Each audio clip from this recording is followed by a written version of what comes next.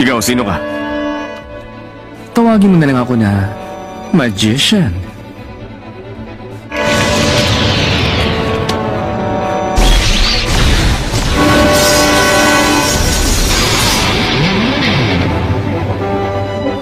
Sundan niyo na si Master Kilua. Kaya mo itira ang mga barya mo na mas malakas sa puwersa ng bala. Hindi makakatakas ng hindi sugatan ng sinumang natamaan ko ng barya ko.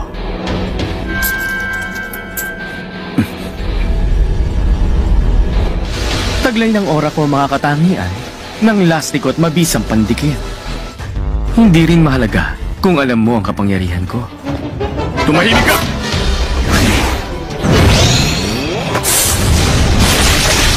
Nasalo ko ang lahat. O baka nasanay na lang ang mga mata ko sa tira mo.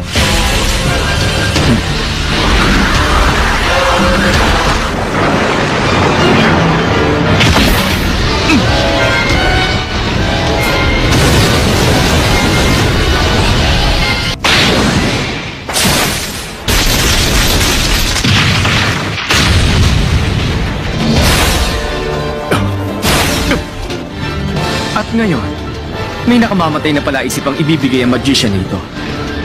Sa tingin mo, ilang barya kaya ang ibabalik ko sa'yo? Ikaw mismo ang nakakaalam kung anong sagot sa tanong ko sa'yo. Huwag mo akong malitin. Kahit nalagpas pa ng dalawampung dalawa yan, kaya ko pa rin namang tirahin lahat yan.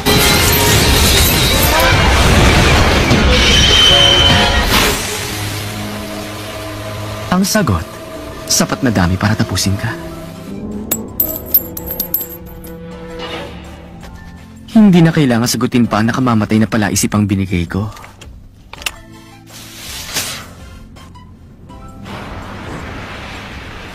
Alo ka, makakaramdam ka uli ng konting kuryente ha. Ah, ayos lang. Godspeed of lightning!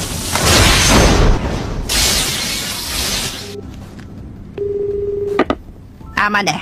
Ako to, si Chubone. Papunta si Master Kilwa sa Parasta.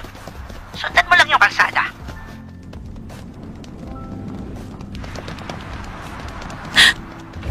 Yan ang... Ang lola ko. Kumapit ka na mabuti sa akin.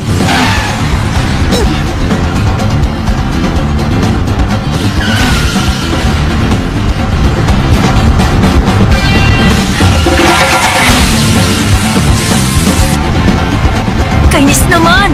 Hindi ako! Hindi niyo ako masusundan sa motor! Paano na? Doon natin siya tatalunin. Aabutin si Master Illumi ng 20 minuto sakay ng kotse. Anong gagawin niya kung nauna siya doon? Sa tingin mo, anong unang gagawin ni Master Kilua kapag nailigaw niya tayo?